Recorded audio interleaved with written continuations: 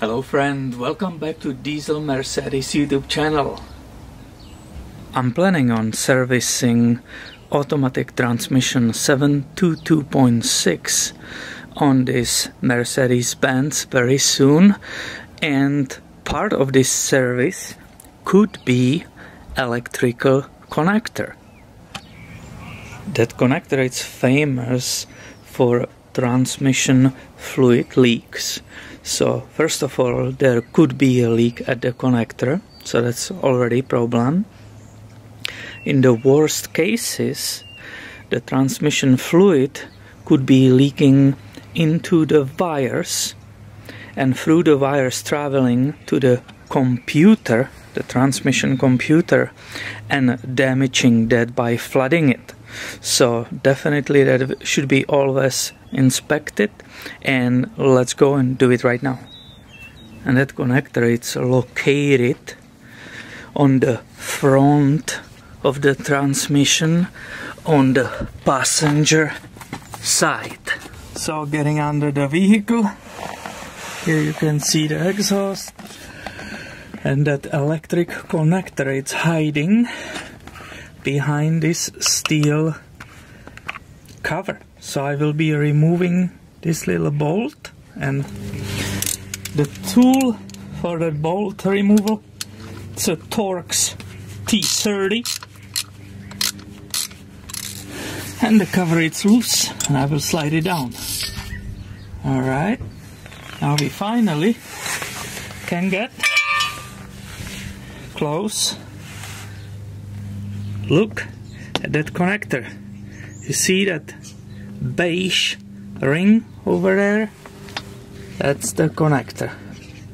Now there's not much space for the camera, but if you see that beige ring, and it has that pointy part or part of it is pointy on the top, I need to grab that and turn it counterclockwise in order to be disconnected electrical connector from the transmission. Now there's not much space for fingers, you know, to undo that part. So in past I started using this hook.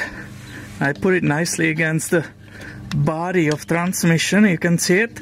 And I just push against that area. Did you see that? it really nicely gave up and it started rotating counterclockwise. You can see where it ends, how far it goes when you rotate it. And now you are able to pull out the electrical connector and unfortunately, let me bring the light. You can see it's still good, but look. Oh, now it's adjusting. There's a bunch of oil inside so I already don't have any doubt that a part of this transmission service will be replacing that connector which is inside of the transmission. Here you can see the connector, the part of wiring harness, how wet it is, right? Took off my gloves to show you. It's a bunch of oil. And here are the connectors which connect to the plug in the automatic transmission, right? And that's the possibility that the oil, if it's extensive leak, it will enter these connectors and start traveling through that wiring harness, believe it or not, but it can travel all the way through those wires all the way to the computer.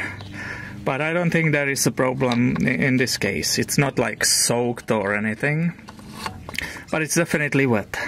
And it, inside of that connector was pretty dry, it was just very slight moisture, so I just dried out with the rag and put everything back together. And, and all this inspection perfectly helped me to evaluate which parts I need to order for that automatic transmission maintenance job. So definitely stay tuned, make sure you are subscribed, uh, follow the Facebook page because there is a lot of happening on diesel Mercedes right now.